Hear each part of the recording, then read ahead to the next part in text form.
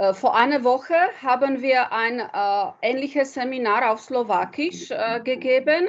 Wir haben das so gestaltet, dass wenn jetzt dabei die deutsche Geschäftsführer sind, damit die auch so ein bisschen ähm, Überblick haben, was alles in den letzten zehn Tagen passiert ist und anknüpfend an, an das Seminar oder Webinar letzte Woche äh, bieten wir auch äh, so eine Übersicht der Entwicklung. Ähm, äh, also ich, ich, bitte Christina, ich habe ein Team von Kollegen und Kolleginnen, die helfen mit, auch wenn sie dann Fragen haben.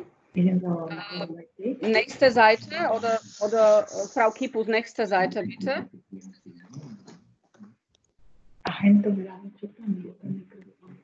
Kann ich eine Frage stellen, Frau Blachova? Ja.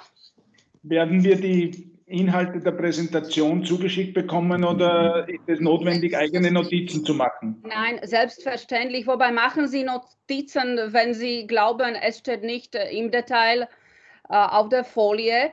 Wobei, was nicht im Detail steht, das bedeutet, dass es noch nicht äh, 100% stimmt.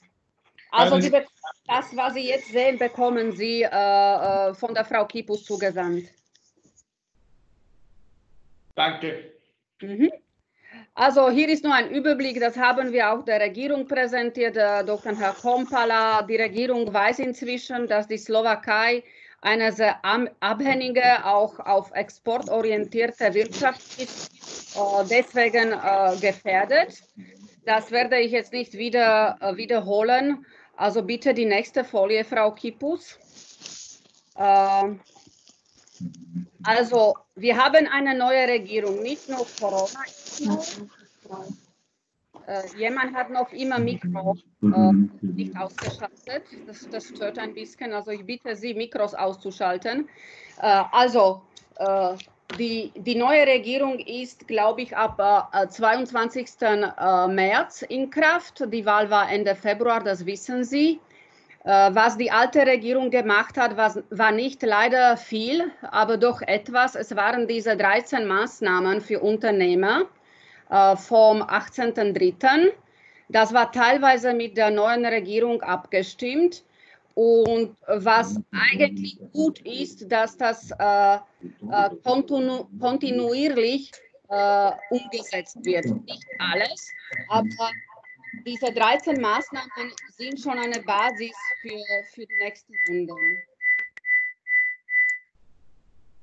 Ähm, also wenn man mit den 13 Maßnahmen von 18.03. beginnt, Sie sehen, dass äh, was schwarz ist und äh, dick, dass das sind diejenigen, wo, wo man so Fokus äh, gibt. Äh, die Grünen äh, sind schon teilweise umgesetzt und dann gibt es ein paar ein paar auf Rot. Das ist dann, äh, wo wir glauben, es wird gar nicht umgesetzt. Also zuerst Verhandlungen mit Banken, äh, weil Haupthilfe sollte durch äh, äh Kredite äh, und äh, eigentlich Hilfe von, von der Liquidität, die wirklich genügend in den Bankensektor liegt. Das ist eigentlich auch die Präferenz der Europäischen Union und Europäischen Kommission. Äh, anknüpfend an Bankenkredite, natürlich dann äh, Kooperation mit äh, ausgewählten Institutionen. Bei uns ist es die slowakische Garantiebank. Äh, äh, dann Punkt 3, dann ist es diese slowakische Investment Holding. Äh, einfach, das ist diese Punkte 1 bis 3, diese Liquidität durch Bankensektor und Unterstützung von ähm, staatlichen Bankgarantien. Äh, sehr vereinfacht gesagt. Wir kommen noch äh, dazu äh, am Ende, was, was heute zur Verfügung steht. Punkt Nummer vier war auch in gleich der ersten Runde präsentiert. Das ist Abschreibung von steuerlicher Verluste. Dazu komme ich auch später, wurde teilweise umgesetzt, aber nicht ganz.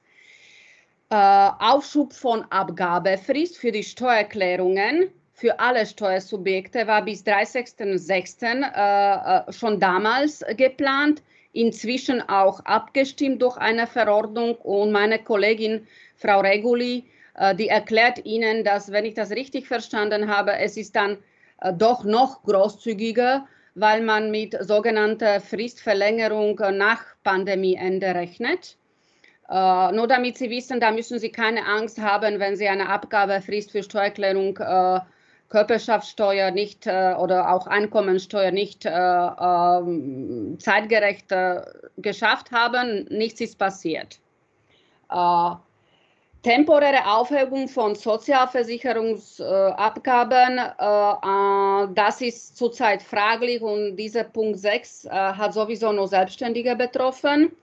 Äh, also Frau Reguli, bitte. Christina, bitte, nächste Seite. Oder Frau Kipus? Nein, Frau Kipus. Frau Kipus, gut.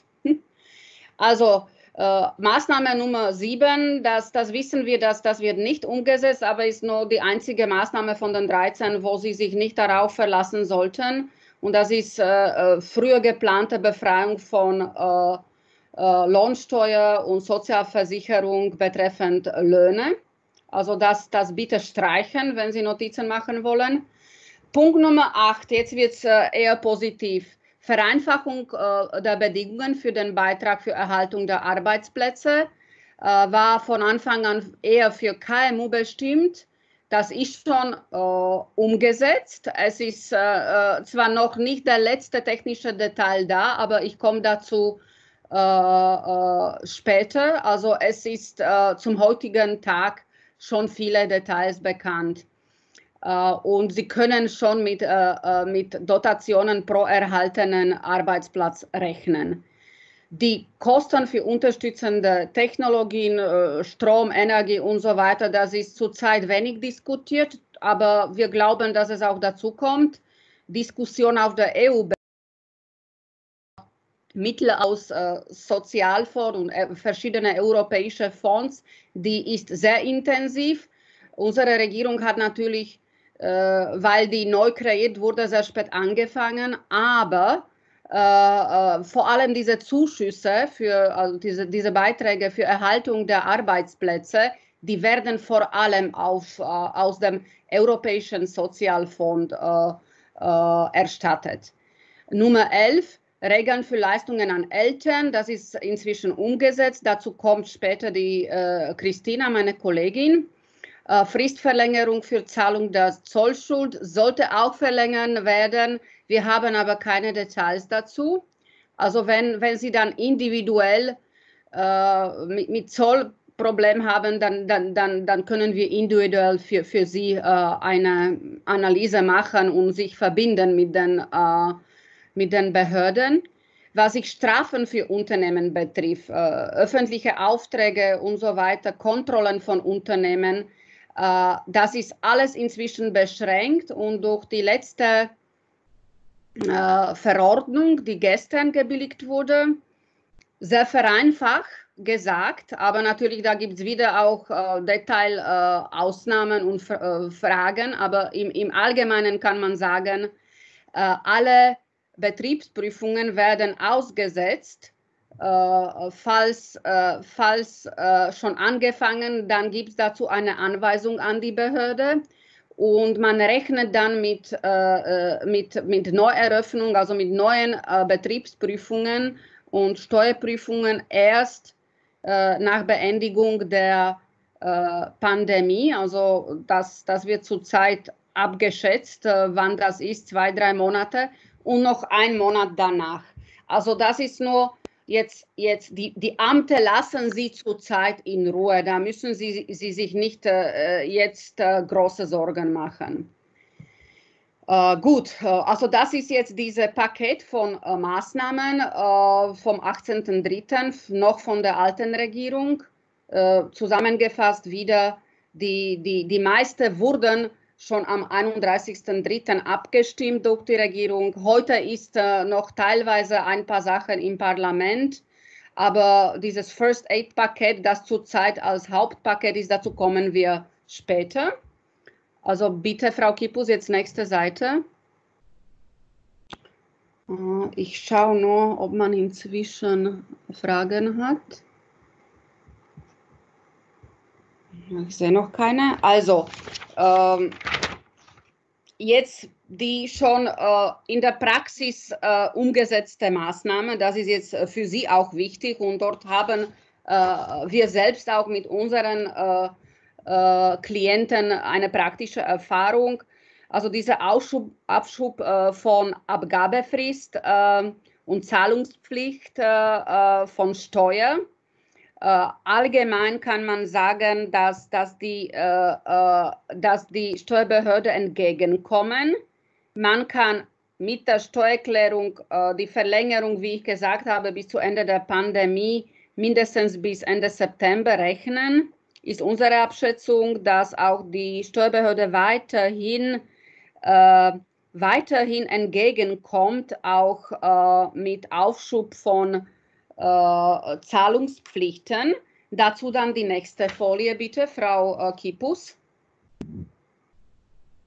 Ähm, ja, also das ist jetzt auch praktische Erfahrung, äh, vor allem Richtung ähm, äh, Vorauszahlungen Einkommensteuer, äh, Körperschaftssteuer. Da war, äh, war die Finanzverwaltung sehr positiv ähm, eingestellt und hat uns bei allen Mandanten eigentlich entgegen, ist uns äh, entgegengekommen, also die Unternehmen, die angefragt haben, zwar nur für, überwiegend nur für drei Monate. Jetzt ist in dem neuen Paket eine neue, äh, objektivere Regel, dass man, ähm, äh, dass man eigentlich sehr schnell und vorrangig an die Unternehmen äh, äh, zielen soll, die, äh, wo die Erlöse um mehr als 40 Prozent sanken. Äh, dazu kommt dann mh, Christina später, Frau Reguli.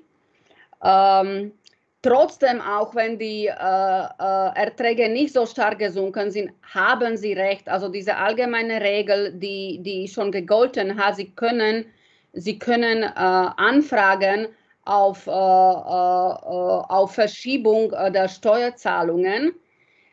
Sie, sie, sie, sie können das trotzdem machen und außer Umsatzsteuer kommt Ihnen die Steuerbehörde entgegen. Es ist sogar in den ganz letzten Fällen so, dass auch Lohnsteuer, also dass das sogar auch Aufschub für Lohnsteuer wir haben, wir haben mit ein paar Unternehmen jetzt in den letzten Tagen auch eine positive Erfahrung gemacht.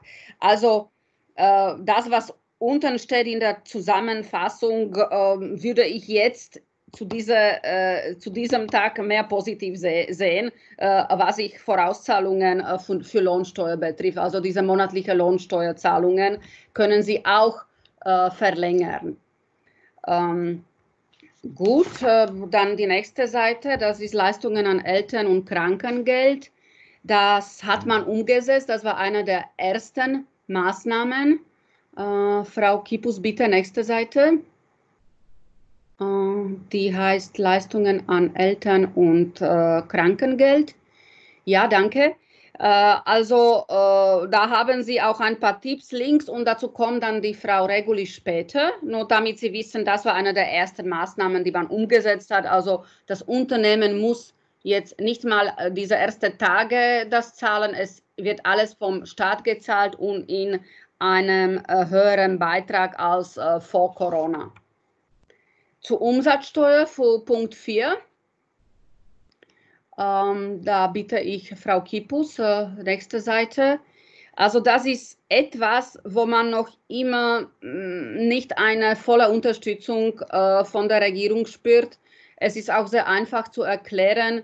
Wir haben äh, da ein bisschen Angst. Äh, Sie wissen, dass die Slowakei, was sich Umsatzsteuerbetrug, äh, einer der schlechtesten Länder in der EU war. Und da ist ein bisschen die Regierung zurückhaltend und irgendwie verstehe ich das auch. Ähm, aber Antrag auf Verschiebung können Sie stellen. Wir, wir wissen nun nicht, äh, äh, es ist sehr unsicher, wie die Steuerbehörde reagiert. Jedenfalls, wenn Sie keine Sanktion oder äh, finanzstrafrechtliche Folgen haben wollen und gehabt, nicht genug Geld, sie diesen stellen, weil dann wird gerechnet, dass man mindestens nicht äh, Sanktionen äh, droht und dass das auch äh, finanzstrafrechtlich, wo die Umsatzsteuer sehr strikt ist, dass finanzstrafrechtlich auch da auf, auf diese Anträge und Information transparent von Unternehmen an die Steuerbehörde, dass man da Rücksicht nehmen wird. Gut, äh also das sind so die, unsere praktischen Erfahrungen. Jetzt äh, äh, die nächste Entwicklung, äh, die noch letzte Woche nicht klar war, dass das ist jetzt am 21. Äh, also die jetzt wegen einem Material unoffiziellem vom 21.03. ist. Bitte Frau, äh, Frau Kipus an die nächste Seite. Ar Arbeitstitel Ar Arbeitsmaterial Ex Corona. Ähm, das werde ich nur sehr schnell angehen. Äh, das ist so ein Material aus dem Ko Koalitionsrat äh, vor zehn, zehn Tagen, war ein Samstag oder Sonntag, äh, ist äh, da, da an die Journalisten gegangen und an Sozialnetzwerke. Das waren eigentlich mehr detailliert Umsetzung dieser 13 Maßnahmen. Ähm, ähm, insgesamt mehr als 30, äh, als 40 Punkte. Kurz gesagt, die meisten der über 40 Punkte sind zurzeit oder umgesetzt oder man arbeitet an der Umsetzung. Also da, da ist eine Nachhaltigkeit auch äh, sichtbar. Ähm, was war von diesem Material klar? Ähm, was war von diesem Material klar, ist auch äh, die äh, Kurzarbeitdiskussion. Äh, dazu können wir dann äh, in der Diskussion am Ende sehr kurz angehen. Ich mache schon jetzt aufmerksam, dass man erste positive Schritte gemacht hat, weil diejenigen, die in diesem Geschäftsführerkreis sind, wo auch der Herr Kompala sich sehr eingesetzt hat, man hat schon, schon ein bisschen Ernte gesammelt. Also es ist äh, nicht äh, nur der Herr Sulik jetzt dabei, mental, sondern auch der äh, Arbeitsminister Herr Krajniak, äh, das ist eine andere äh, äh, politische Partei, und inzwischen auch der Finanzminister versteht, was die Anfrage ist. Also der Herr Heger ist auch dabei. Also das ist etwas, wo heute eigentlich schon im Parlament der erste Schritt umgesetzt werden soll. Also daran wird gearbeitet.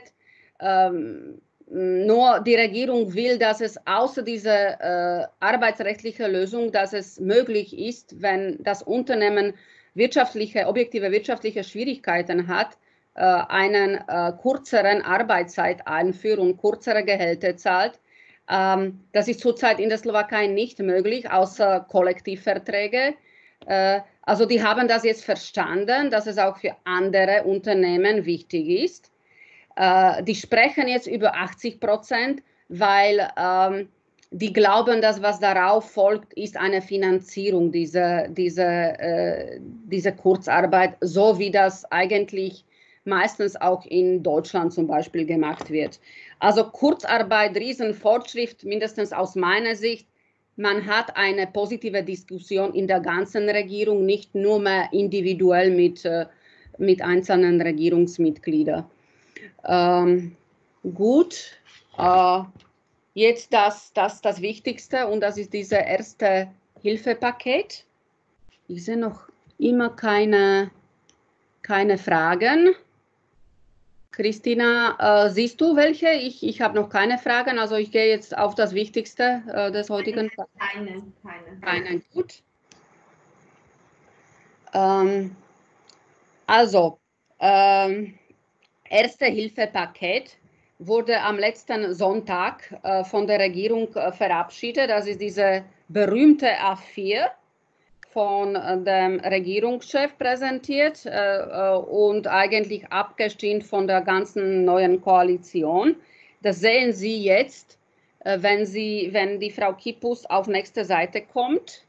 Also diese sieben Punkte, die auf dieser A4 präsentiert wurden, die halten fest und über die wollen wir jetzt äh, eigentlich im mehr Detail sprechen, weil das ist etwas, wo Sie sich verlassen können. Das wird in, wurde oder schon eingeführt mit verschiedenen Verordnungen, wird oder heute im Parlament eingeführt und dann ähm, äh, eigentlich schon ab nächste Woche durch verschiedene Anträge möglich zu schöpfen. Also das ist jetzt dieses erste Hilfepaket. Äh, bestimmt äh, klar für Klein- und Mittelunternehmen. Das war auch von vorne an so abgesehen und ist eigentlich auch wegen dem Rahmen äh, von der Europäischen Kommission äh, eigentlich nicht anders denkbar. Äh, da würde ich ein bisschen so auch diese Kommunikation, die mangelnd war, äh, aus Seite der Regierung, das, äh, das betonen. in der EU sind äh, ist die Staatli Staatshilfe verboten. Man hat Ausnahmen, zum Beispiel De Minimis-Regeln. Äh, in normalen Zeiten ist die De Minimis-Ausnahme nur dann möglich, wenn die Gesamthilfe nicht äh, mehr als 200.000 Euro ist. Was man eigentlich jetzt von der Europäischen Kommission allgemein bekommen hat wegen Covid-19, ist eine Ausnahme die ist auch jetzt, äh, schaue ich mal, 20.03. Also ist auch jetzt ähm, nur elf Tage in Kraft. Und diese Ausnahmeregelung sagt mehr oder weniger, Unterton bitte vor allem an Klein- und Mittelunternehmen gezielt, aber sehr vereinfachte Regeln. Ähm, also es ist äh, trotzdem nicht so, so einfach, aber sehr vereinfachte Regeln, was sich jetzt ähm, äh, objektive Kriterien äh, betrifft. Und die, die, das Hauptkriterium ist diese Gesamthilfe, die nur bis Ende dieses Jahres möglich ist, darf nicht insgesamt 800.000 Euro überschreiten. Und in der Slowakei will man das auf 200.000 Euro pro Monat begrenzen. Also das ist alles eigentlich wegen diesem Rahmen. Und wenn es Unternehmen gibt, das sind die größeren, wo es eigentlich äh, nicht ausreicht, dann muss man auf spezial, weitere Spezialverhandlungen zielen mit der Europäischen Kommission. Aber ähm, wenn es wirklich ein, ein, ein, ein größeres Unternehmen ist, wo, wo 800.000 Euro eigentlich lächerlich sind, dann muss es sowieso äh, individuell von der Europäischen Kommission gebilligt werden. Also es ist nicht so einfach, wie es äh, auf ersten Blick äh, aussieht. Äh, da will man in der EU sein. Äh, wir sind sogar Eurozone und man muss diese Rahmen der Europäischen Union schon äh, respektieren. also kommen wir zu diesen sieben Punkten von dem Erste-Hilfe-Paket. Äh, äh, Punkt Nummer eins, für die sind also ob, obligatorisch ausgesetzt, hergeschlossen sind, äh, vor allem Retail Stores, aber kann auch, ähm, klar kann auch äh, Dienstleistungsunternehmen sein. Da wird der Staat 80 Prozent der Löhne der Arbeitnehmer erstatten. Natürlich mit der Voraussetzung, es ist nicht mehr als 200.000 Euro pro Monat oder insgesamt mehr als äh, 800.000 Euro für dieses Jahr. Aber sollte mindestens für Liquidität in, der, in den nächsten Monaten für, für KMU-Unternehmen eine gute Hilfe sein. Wenn sie nicht die Definition dieses obligatorisch geschlossenen Betriebes äh, äh, erfüllen, ähm, und darüber soll man dann individuell natürlich sprechen, äh, dann äh, kommt äh, dieser Beitrag pro gehaltener Arbeitsplatz für, für Anwendung. Und das ist jetzt so in dem Entwurf, dieses Schema, das unterliegt jetzt diese EU-Regeln. das Schema wurde noch nicht formal veröffentlicht, was wir aber bestätigt bekommen haben und was auch die Regierung präsentiert, konsistent ist. dass und das stand dann eigentlich, was Sie hier sehen, diese äh, äh, Einbruch von äh, Umsatzerlöse mehr als 20 Prozent. Da ist ähm, der Zuschuss von äh, pro Arbeitsplatz äh, Platz, 180 äh, Euro. Bei mehr als 40 Prozent ist es 300 Euro. Bei mehr als 60 Prozent ist es 420 Euro. Und bei mehr als 80 Prozent ist es 540 Euro. Also das sollte jetzt äh, ab nächster Woche äh, ant, äh, also antragsgemäß ähm, gebilligt werden. Also dazu sollte man Anspruch haben, also einen rechtlichen Anspruch. Also es ist ein automatisches Schema, äh, nicht so wie sie das gewohnt waren mit äh, diesen ähm, Standarden EU-Schemen, äh, wo es äh, sehr lange gedauert hat und sehr viel administrativer Aufwand war, sollte sehr äh, einfach umgesetzt sein. Ähm, Jetzt kommt sicherlich eine Frage, wie wird diese 40 Prozent oder 20 Prozent äh, äh, Senkung von Umsatzerlöse gemessen? Es steht noch nicht schwarz-weiß fest, aber ich war bei einer Diskussion mit dem Finanzminister, da werden monatliche äh, Erträge testiert und irgendwann dann später auch kontrolliert auf Umsatzsteuererklärungen monatliche, also wo, wo die Finanzverwaltung das schwarz-weiß sieht, äh, beginnen mit Monat März 2020, also Monat März 2020, Sie schauen Sie Ihren Umsatz an und wenn die Senkung des Umsatzes gegenüber März 2019 mehr als 20 Prozent war, dann sollten sie automatischen Anspruch haben an, an diese Zuschüsse. Und ja, dann gibt es Fragen für Unternehmen, die zum Beispiel neu gegründet waren und so weiter. Aber das sollten wir dann individuell angehen. Da wird dann irgendwie Durchschnitt äh, in Rücksicht genommen oder also gibt es dann noch ein paar Detailfragen, die, die erst äh, in den veröffentlichten Schema wahrscheinlich äh, äh, äh klar festgelegt werden. Aber diese Basisregel, dass sie Umsatz des Monates mit dem äh, Umsatz des Vorjahres für denselben Monat vergleichen, ist schon fest. Ähm, Anträge sollte man äh, ab nächsten Montag stellen können. Klar, äh, meine letzte Teilnahme in einem Arbeitskreis, wo auch der Arbeitsminister war, äh, wir hoffen alle, dass die IT-Systeme sich so schnell da mh, mm, einstellen lassen. Also das ist etwas, was sehr neu ist und sehr schnell auch für unsere Regierung.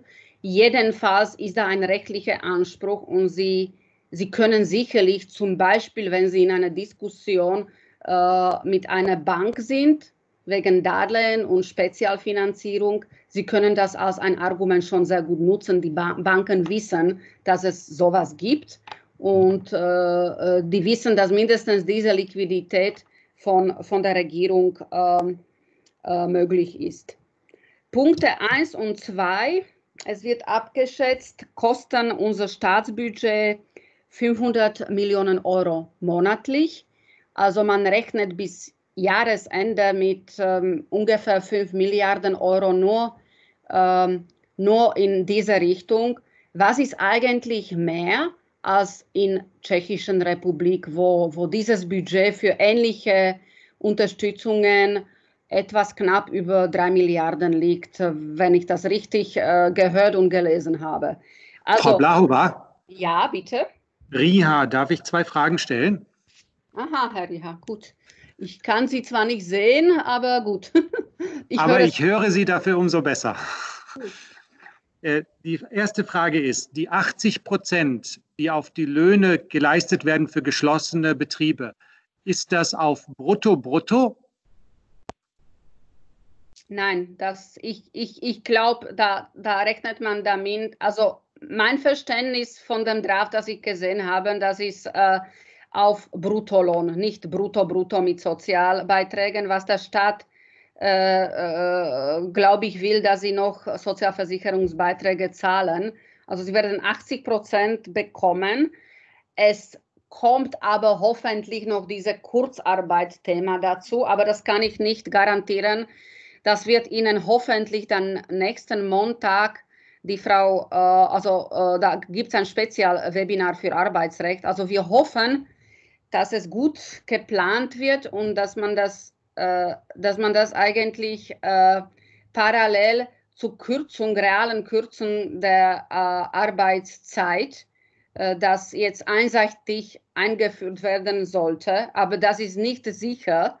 Das ist etwas, was zurzeit in Diskussion ist und noch nicht gebilligt wurde.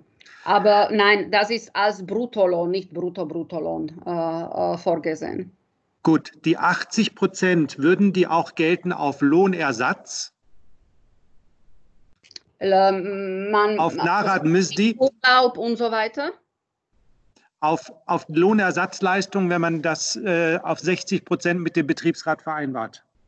Äh, ich glaube schon, aber äh, ich, ich habe irgendwo so Beispiele vom, äh, von dem Staatssekretär gesehen.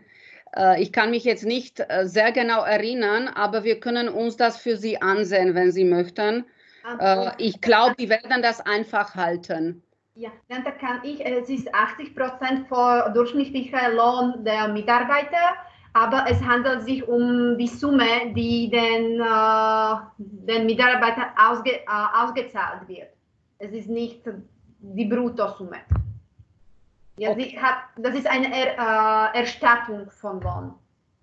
Okay, also du hast es jetzt von diesem Beispiel, dass ich mir ja, nicht... Ja, ich, ich, ja, ich schaue es okay. nach. Also es ist sicherlich nicht brutto, brutto und es ist leider auch nicht brutto, wie sie das, also es wird äh, äh, als Zuschlag, es, es wird umgesetzt als Zuschlag auf diese Nettolohnauszahlung.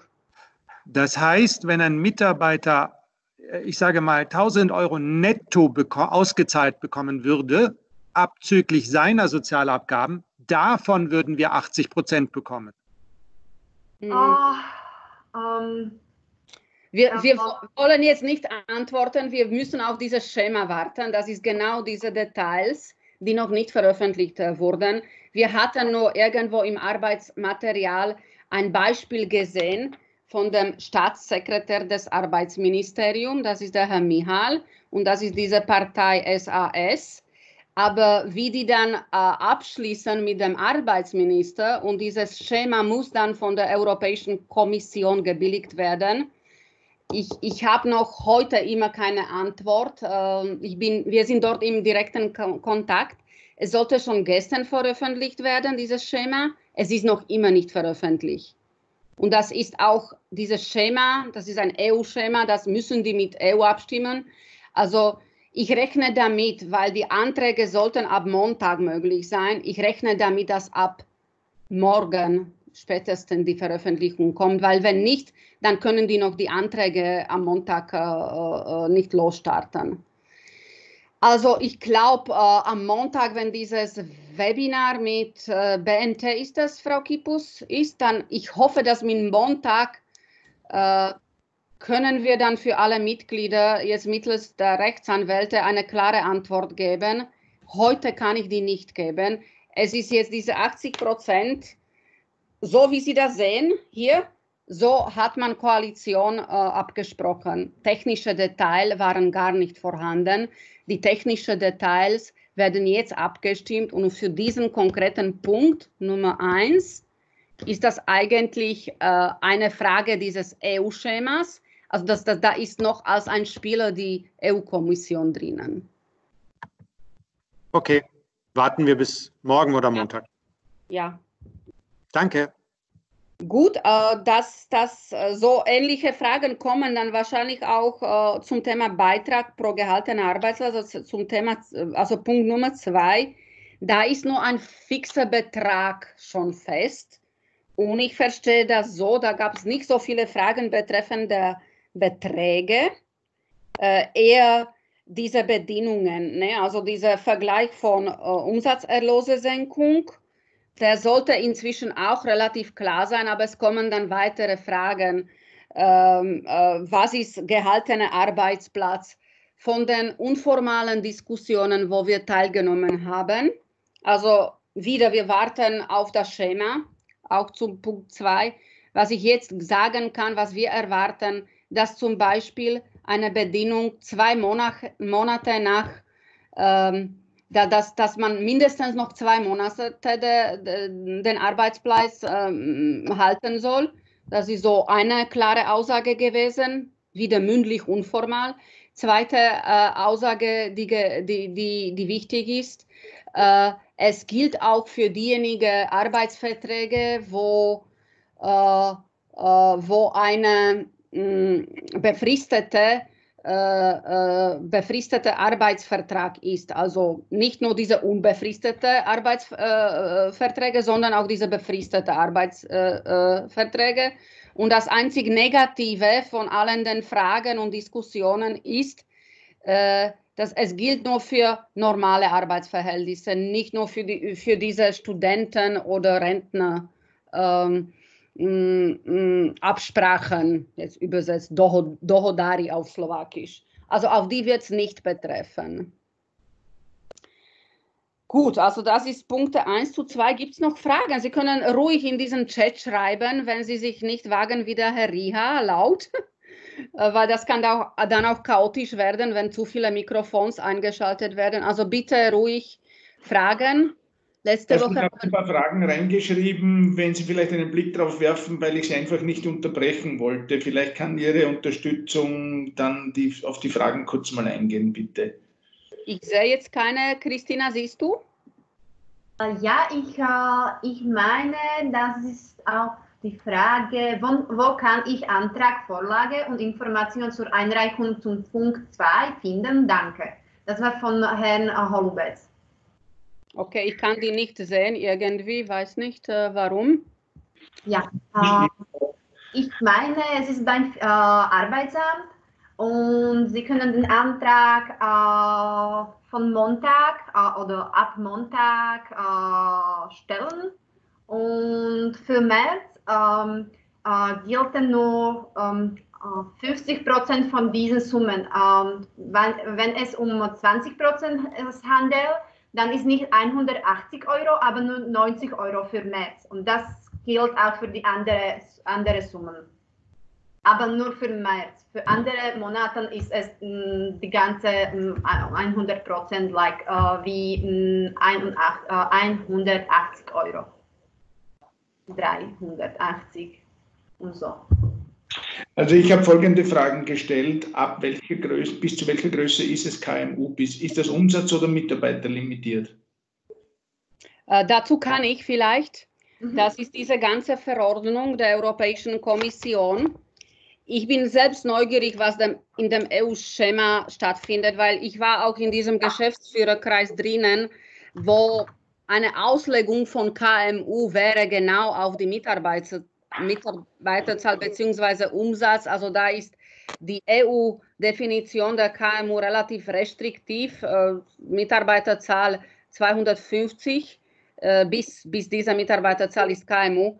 Von, der, äh, äh, von dieser Ausnahmeregelung der Europäischen Kommission vom 20.03., vor allem dieser Artikel 21, wird zwar erwähnt, vor allem KMU-Unternehmen, aber die objektiven Kriterien, die ich am Anfang angesprochen habe, die sind nur limitiert, sehr einfach auf diese 800.000 Euro im Jahr 2020. Und unsere Regierung hatte vorgeschlagen 200.000 Euro pro Monat.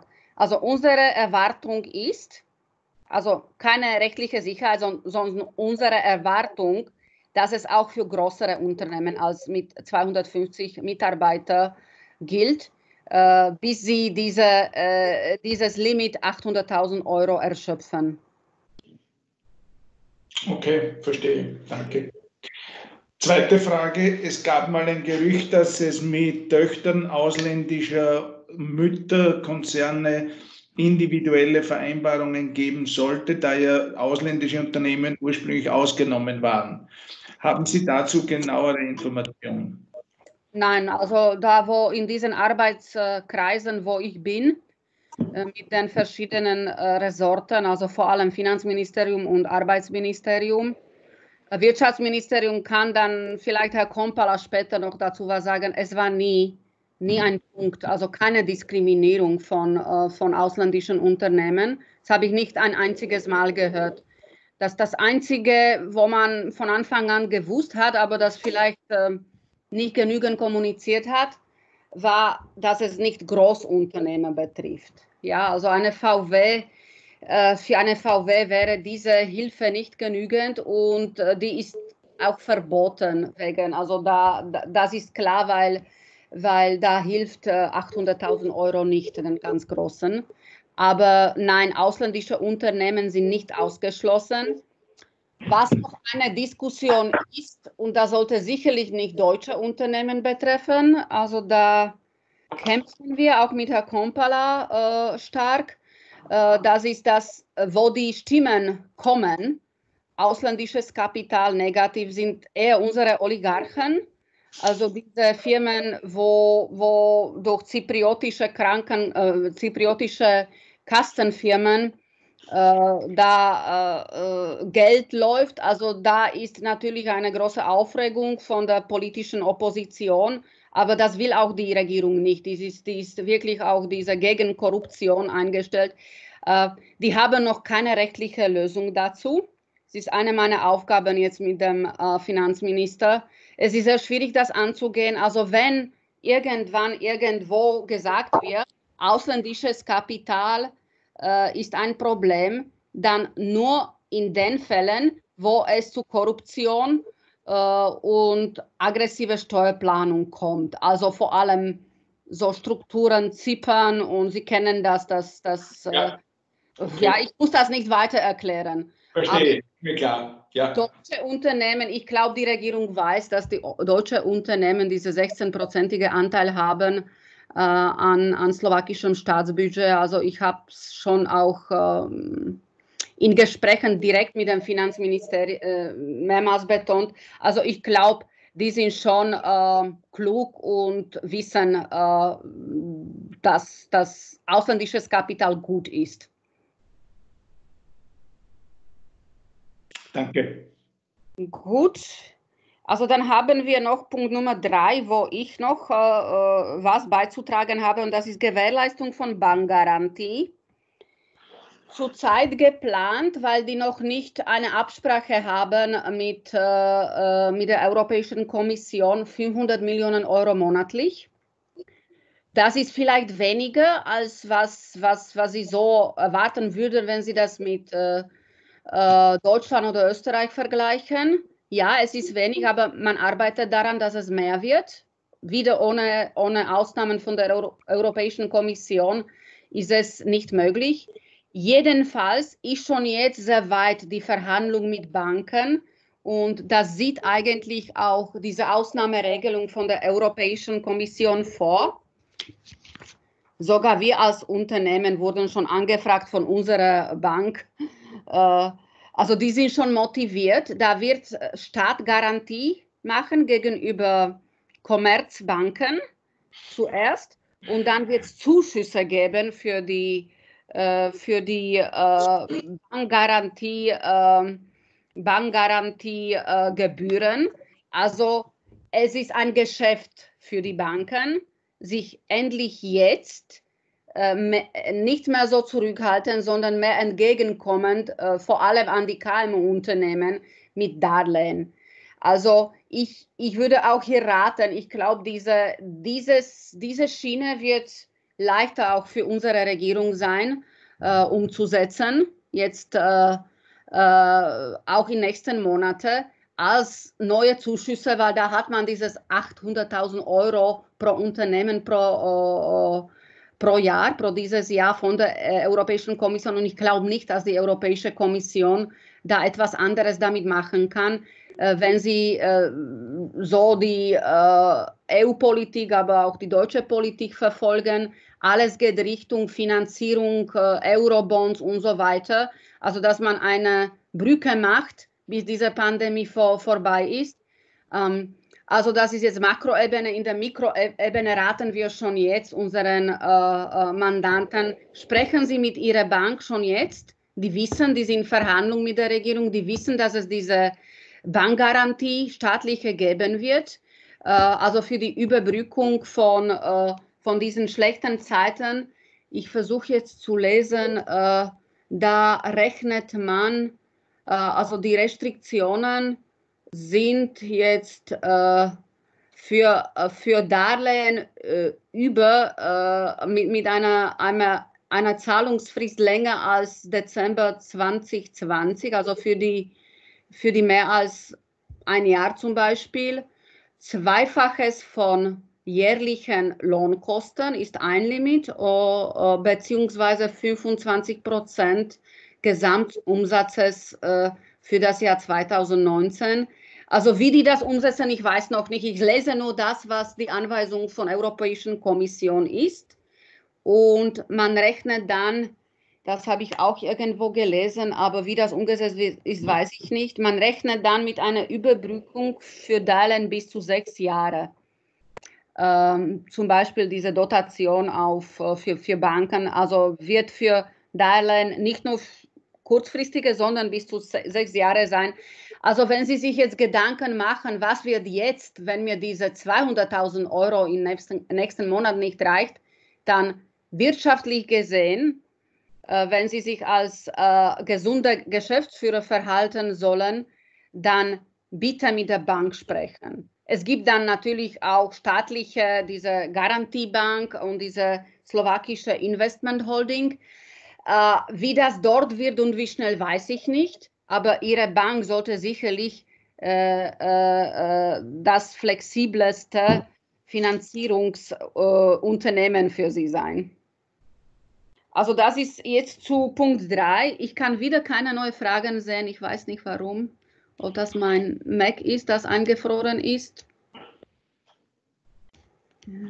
Äh, mein Mac ist eingefroren, weil dort, ich dachte, drei drei neue Fragen äh, gibt. Ähm, Kannst du die lesen, bitte? Okay.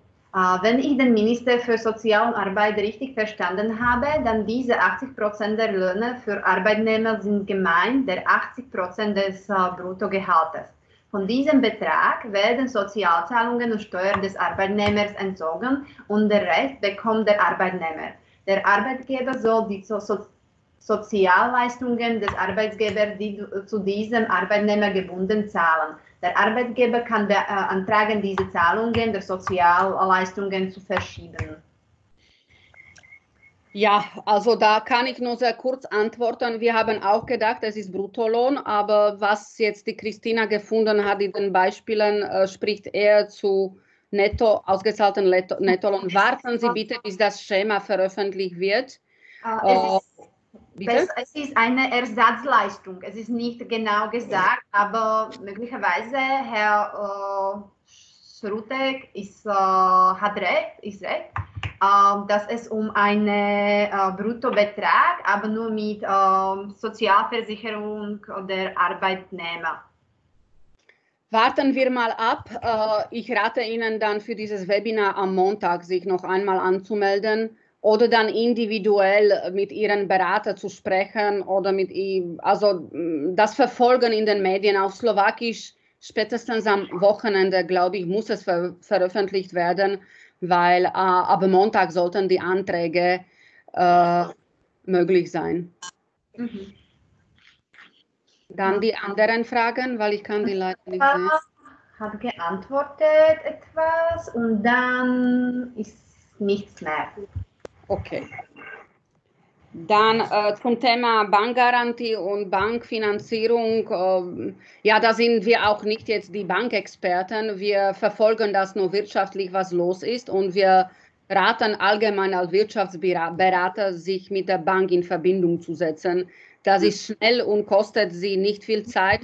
Und die Banken sollten schon heute froh sein, wenn sie sich melden. Und ja, vielleicht noch eine Bedingung, die vielleicht ein bisschen äh, Sorgen machen kann äh, von der Sicht der Banken. Äh, das ist auch wieder von der Europäischen Ko Kommission, aber verständlich. Es soll nur an die Unternehmen möglich sein, diese ganze Staatsgarantieschema, die zum Ende des Jahres 2019 gesund waren. Es ist nicht klar, was gesund bedeutet, aber Ihre Bank weiß es, ob Sie als gesundes Unternehmen äh, zu verstehen sind oder nicht, weil die intern dann Sie als Kreditor, also jedes Unternehmen als Kreditor einstufen müssen. Und in diese Richtung wird es auch geprüft in den Banken. Äh, also das ist noch so eine kurze Ergänzung zu Punkt 3. Und jetzt Punkte 4, 5 und 6. Da übergebe ich das Wort an die Christina, weil das, die, die hat alle Details noch heute Vormittag studiert. Christina, bitte. Äh, zum Punkt 4. Ähm, die, äh, diese Maßnahme wurde seitens der Institutionen schon äh, bevor diese Novelle appliziert. Äh, die Maßnahme bezieht sich ähm, auf den Zeitraum seit dem 12. Ähm, März.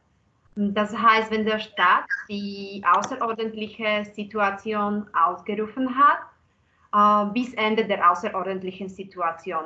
So, der Staat stellt nicht der, das Termin fest und es, be, äh, es begrenzt äh, das Termin mit, mit äh, Ende der außerordentlichen Situation.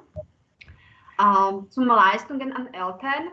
Hm, nach der Novelle äh, ist den Eltern erlaubt, bei der Schließung von Schulen zu Hause zu bleiben und die Sozialversicherungenanstalt zahlt die Leistungen an Eltern, aber maximal für die Dauer der außerordentlichen Situation.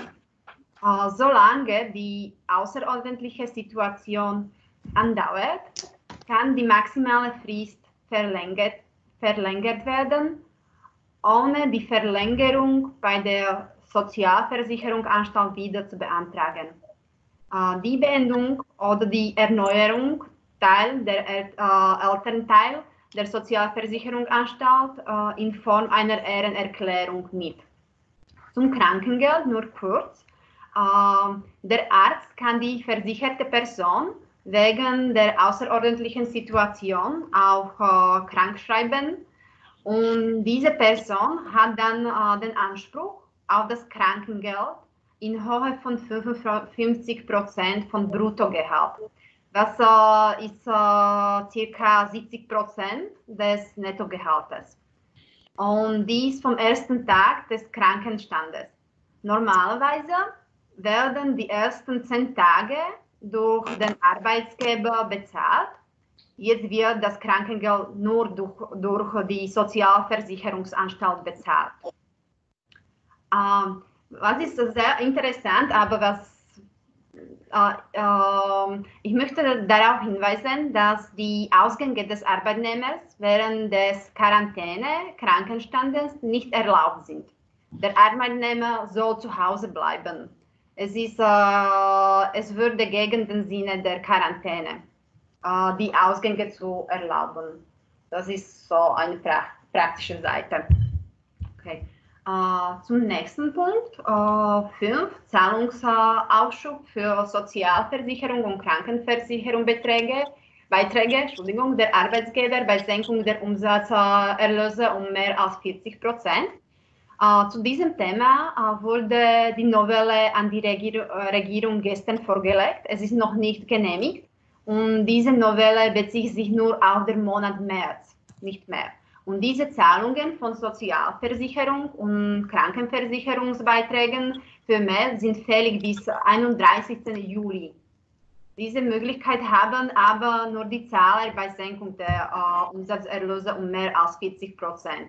So wir werden warten, wie, äh, wie es sehen, äh, sehen wird. So, das ist sehr kurz zu diesem Punkt. Und nächstes Punkt 6, Zahlungsaufschub für Einkommensteuervorauszahlungen bei Senkung der Umsatzerlöse um mehr als 40 Prozent. Uh, die Covid-Situation uh, hat die Erlöse der meisten Steuersubjekte negativ beeinflusst, weil sich infolge der aktuellen Situation die Finanzlage des Steuersubjektes um mehr als 40 Prozent im Vergleich mit demselben Monat des Vorjahres verschlechtert hat, kann es beim Steuerverwalter einen Antrag auf Zahlung der Steuervorauszahlungen stellen. Äh, das ermöglicht dem Steuerzahler, auch die Vorsteuerauszahlungen in Höhe von 0 Euro zu beantragen. Der Antrag muss für jeden Monat oder Quartal separat beantragt werden und die Senkung der Erlöse muss auch mit numerischen Unterlagen nachgewiesen werden. Ähm, der Steuerzahler äh, muss die Unterlage selbst vorbereiten. Äh, der Steuerverwalter erwartet den Vergleich der Finanzsituation auf der, der Basis der Mehrwertsteuererklärung. Das heißt, äh, die Zahlen in der Mehrwertsteuererklärung für den aktuellen Monat des Vorjahres im Vergleich zum aktuellen Monat des Jahres, für welchen die Vorauszahlungen bezahlt werden sollen. Uh, dieses numerische Teil wird dem Finanzamt in Form einer Ehrenerklärung vorgelegt. Es ist empfehlenswert, uh, diese numerische Auswertung gleichzeitig mit der Vor uh, Vorbereitung der Mehrwertsteuererklärung vorzubereiten. es kann auch passieren, passieren dass die Senkung nicht um 40 Prozent ausgewiesen wird, aber zum Beispiel 39 mm, Prozent dann ist es fraglich, wie der Steuerverwalter diesen Antrag auswerten wird. Aber äh, wir vermuten, dass es sich um eine Case-by-Case-Auswertung äh, handeln wird. Äh, in jedem Fall äh, kann jeder Steuerzahler den Antrag auf den äh, Zahlungsaufschub stellen, und zwar auch, wenn die Senkung der Erosion nicht die Grenze 40% überschritten hat. Mm, dann wird jeder Antrag separat bewertet und die Einstellung des Steuerverwalters kann in konkreten Fällen unterschiedlich sein. Ah, und was ist wichtig? Die Steuervorauszahlungen werden durch, durch die Körperschaftssteuererklärung für das Jahr 2020 ausgeglichen. Äh, als negativ sehen wir den Fakt, dass diese Zahlung auch schon voraussichtlich die Vorauszahlungen für Gehälter der Arbeitnehmer nicht deckt. Aber wir werden sehen. Ich habe heute mit einer Steuerverwalterin telefoniert und äh, das Finanzamt ist nicht äh, ganz sicher, wie alle diese Maßnahmen äh, appliziert so. Äh, zum Beispiel. Mhm. Ja, ich, ich habe schon einen Fall, wo die Lohnsteuervorauszahlungen ausgesetzt wurden. Also das ist jetzt wirklich, wie, wie Christina gesagt hat, Fall für Fall. Ja, ja, also sie hat mich, äh, auch diese Steuerverwalterin hat mir gesagt, dass für sie kann so eine, äh, äh, so, ein, so eine, äh, oh, Verschiebung. Verschieben für 60 Tage, aber das äh, löst nicht die Situation selbst. Ja, weil äh, 60 Tage ist bis äh, für März, ist es für April, Mai so äh, im Juni muss alles bezahlt werden. Und das ist nicht so richtig äh, Hilfe. Aber sie wissen nicht mehr jetzt.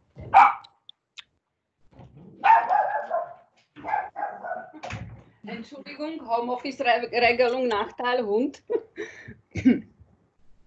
Gut, ähm, also jedenfalls sollten Sie individuell äh, äh alle möglichen Aufschube und äh, Liquiditätsmittel äh, inklusive dieser Vorauszahlungen äh, an die Steuerämter oder sogar auch Sozialversicherung äh, versuchen.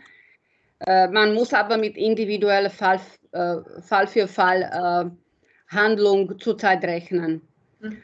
Ich hab, wir, wir haben, glaube ich, nur mal ein paar Minuten. Also ich würde zu Punkt 7 geben, gehen, wenn es keine Fragen gibt. Nein, ich sehe keine Fragen. Und das ist dieser äh, angedeutete Verlust, äh, Geltung von Steuerverlusten. Die sollte jetzt großzügiger sein, rückwirkend noch für das Jahr 2019. Äh, Details sind noch bearbeitet. Also das ist eigentlich die einzige Maßnahme von diesen sieben, die durch das äh, äh, Einkommensteuergesetz äh, umgesetzt wird. Und das ist heute noch nicht im Parlament, äh, weil natürlich die Detailumsetzung äh, dann immer schwieriger ist, als wenn man das mit einem Satz irgendwo schreibt.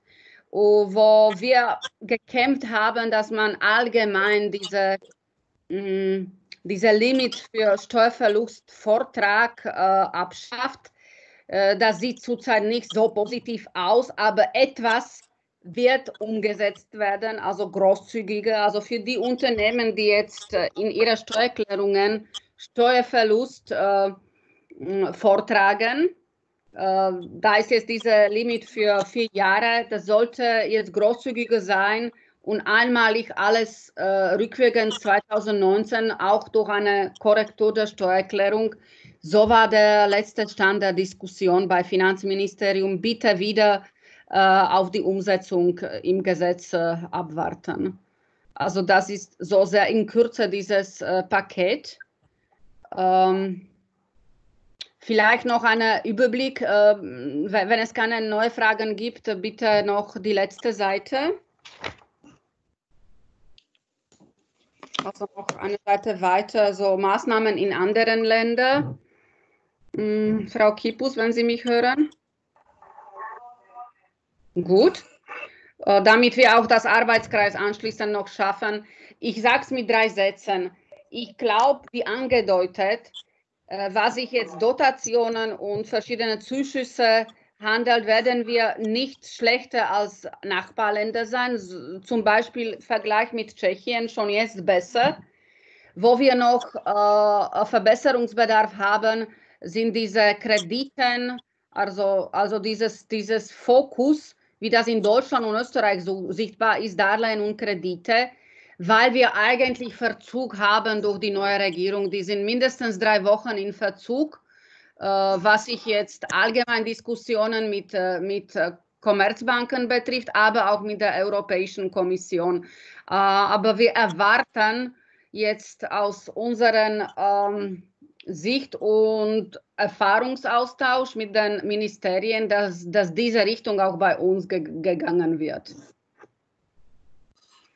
Gut, wenn es noch Fragen gibt, bitte jetzt auch laut noch eine Frage, weil äh, wir müssen jetzt zu dem weiteren Videomeeting. Erwin Horvath, vielleicht habe ich nicht gut aufgepasst.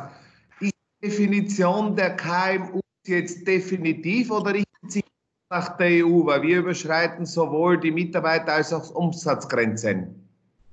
Ja, äh, ich, ich war vielleicht zu vorsichtig in meiner Aussage. Also ich versuche jetzt das zu vereinfachen. Äh, die Definition ist hoffentlich irrelevant.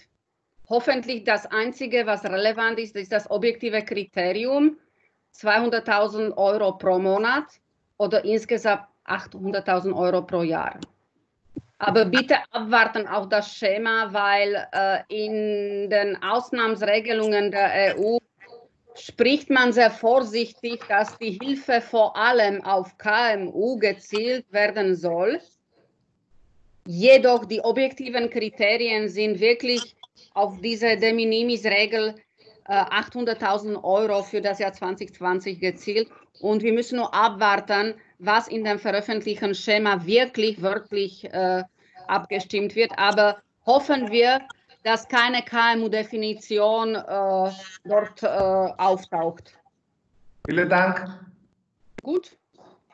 Also keep safe, wash your hands und äh, bleiben Sie gesund und äh, das wird wieder nach vorne gehen. Die Pandemie ist in ein paar Monaten weg.